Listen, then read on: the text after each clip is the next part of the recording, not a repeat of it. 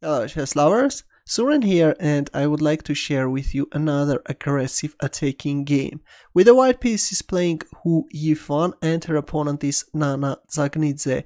The game was played in Khanty-Mansiysk at FIDE Women's Grand Prix 2014. Hou Yifan started with e4 and c5 by Dzagnidze, Sicilian defense, knight f3, e6, d4, c takes d4, knight takes d4, a6, black goes for counter variation and c4 Hou Yifan is choosing the Maroczy bind. White c and e pawns are controlling the d5 square, making it difficult for black to free his position with d5. Here comes knight f6, knight c3, queen c7, bishop e2 and b6.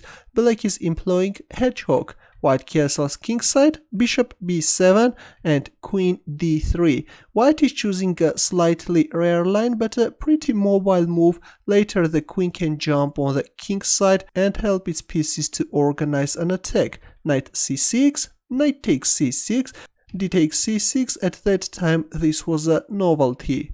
Looks like a better decision than bishop takes c6. Later black will be able to improve her structure with c5 f4, white is trying to organize an attack on the king side, bishop c5 check, king h1 and black castles king side. e5, freeing this e4 square for the knight. Rook d8, black is first attacking the queen, and then after queen h3, the knight retreats on d7 square, knight e4, with the intention of also bringing the bishop on this b1 h7 diagonal, bishop e7, bishop d3 and g6, which is weakening black's dark squares too much. Here comes b3, white is going to develop her last piece, bishop b2 and bishop takes e4, and after bishop takes e4 we see b5. Black is trying to create some counterplay on the queen side, but already it's too late, white's attack is going to be decisive. Well, instead of playing b5, f5 could have prolonged the game though white can play bishop f3 with the idea of later playing g4 again white has a very dangerous attack. Instead after bishop takes e4 we see b5 and here we go f5 and this is becoming more and more dangerous. It takes f5 and now you can pause the video and try to find who Hou Yifan's next move. Ready?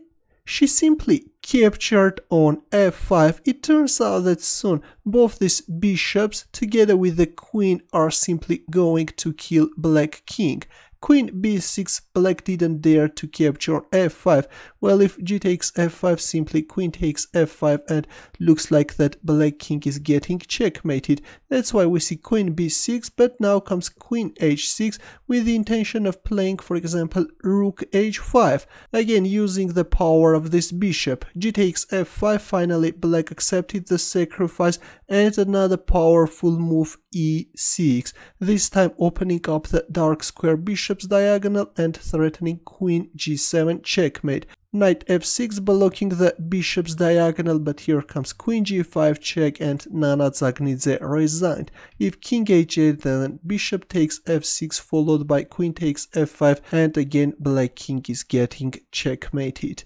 A very beautiful attacking game, I think, by Hou Yifan. The way she organized the attack and gave her opponent no chance was just spectacular. Thanks for watching and I hope that you enjoyed this beautiful game. Good luck.